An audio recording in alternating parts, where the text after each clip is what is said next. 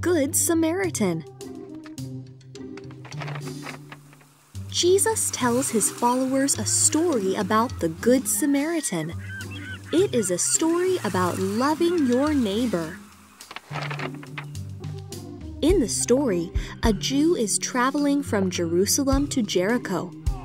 Robbers attack him. A priest goes down the same road. When he sees the hurt man, he doesn't stop to help. A man who serves in God's temple sees the man. He doesn't stop to help either. A Samaritan sees the man and stops to bandage his wounds. He puts the hurt man on his donkey and takes the man to an inn to care for him. Samaritans and Jews usually don't like each other, but this Samaritan follows God's command to love his neighbor.